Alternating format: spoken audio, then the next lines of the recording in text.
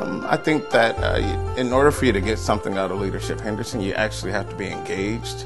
You have to be vulnerable. You have to be willing to listen to different opinions and, um, you know, understand that we're all from different um, upbringings. Um, and that's where I think that you, you get the most out of the program is when you end up uh, being willing and being willing to take in that kind of information. More like being a sponge versus just being the one that's talking all the time. It, helps me. Um, for one, it's like you know, you, before you used to go into a room and you say, "This person's the president, this person's the CEO, this person's over this corporation and that," um, and it could be a little bit uh, not so much frightening, but it could be a little bit awkward knowing that you, you know, depending on what you do.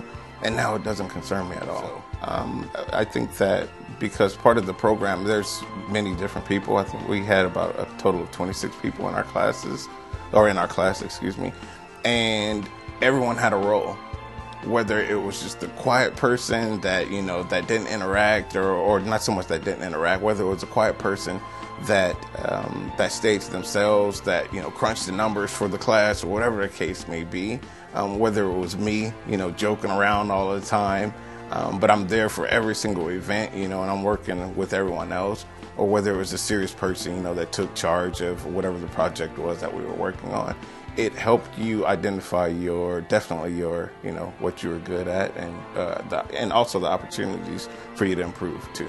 Uh, I do believe that beginning portion of the program it hones in on vulnerability and you know letting down the, the walls you know. Um, we all come into the program thinking you know this is leadership henderson so i got to be a leader you know i got to show up.